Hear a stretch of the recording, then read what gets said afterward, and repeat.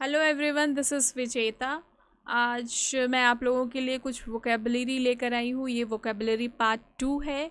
इसमें हम लोग दस नए वर्ड्स सीखने वाले हैं। Words are throngs ripple shrine jostle hefty trample surge stoop turnstile and quadrant I hope कि ये टेन वर्ड्स आप लोगों के लिए बहुत यूज़फुल होंगे। इंग्लिश स्पीकिंग में आप लोगों को हेल्प करेंगे। So without wasting time, let's start.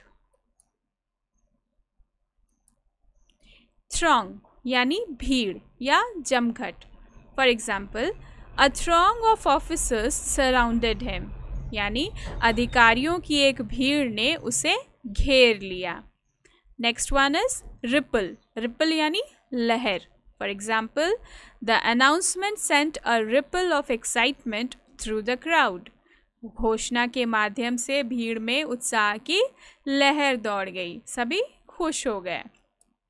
Next one is shrine shrine means मंदिर या कोई तीर्थ स्थान for example this shrine is considered sacred to the Hindu god Vishnu यह मंदिर हिंदू भगवान विष्णु के लिए पवित्र माना जाता है।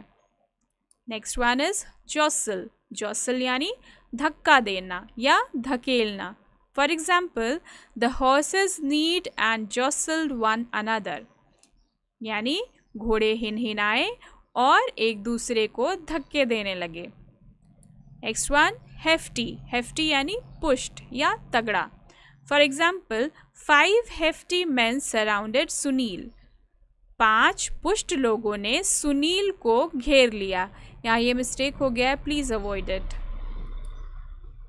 trample trample means किसी को कुचलना या रौंदना.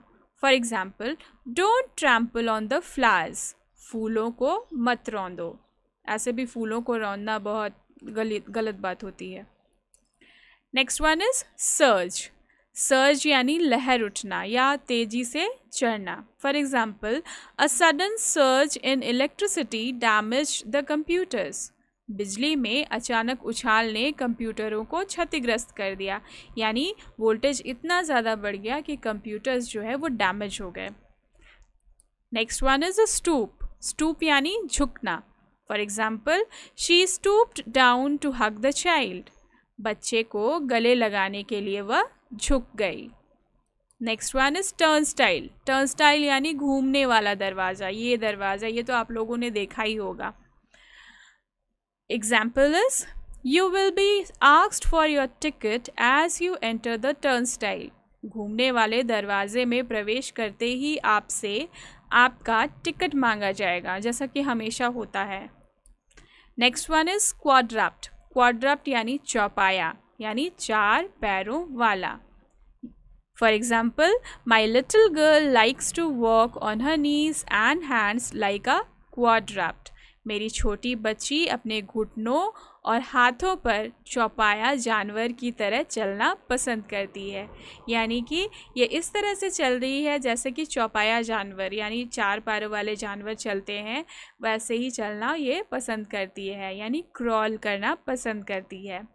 सो आई होप ये वीडियो आप लोगों के लिए यूज़फुल होगा। If it is so please like my video share it to others also those who need it. And do subscribe my channel for further videos. Thank you